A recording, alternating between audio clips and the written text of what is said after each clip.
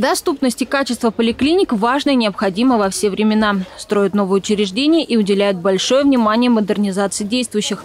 В рамках губернаторского проекта «Поликлиника перезагрузка» под изменения попали и медучреждения Одинцовского округа. Часть задач уже реализовали. У нас открыто отделение реабилитации. С июля запустили работу. Здесь будет э, восстановительное лечение для детей от 0 до 18 лет.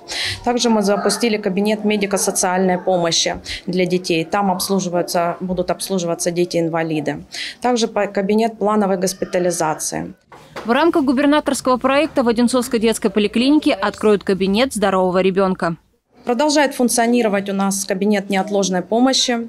Э, мы разделили э, вход для здоровых детей и для детей с э, вирусными заболеваниями. Продолжает функционировать справка в один шаг, где принимает врач-педиатр.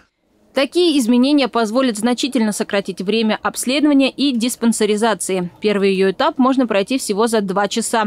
Забор крови до 10 минут. А результаты получить в личном кабинете на портале госуслуг. Медобследование уже прошли около 500 детей.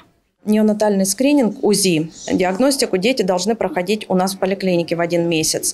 Но нам с этим помогает роддом, то есть э, детишки при рождении сразу проходят УЗИ-диагностику в роддоме. Если им нужна будет повторная УЗИ-диагностика, то мы уже их записываем и проводим ее здесь, в рамках поликлиники. Появились новые специалисты – кардиолог, гастроэнтеролог и педиатры. В рамках кабинета неотложной помощи в детской поликлинике теперь есть два фельдшера и ординаторы координаторы. Обследования э, специалисты записывают э, и записи делают в электронной карточке пациента. Также э, в рамках проекта «Поликлиника перезагрузка» мы стараемся уйти полностью от бумажных каких-либо носителей, бумажных направлений, бумажных выписок, бумажных справок и так далее. Главная задача проекта – сделать посещение поликлиники более комфортным и создать лучшие условия труда для врачей. Раиса Киян, Олег Мещерский, телекомпания «Одинцова».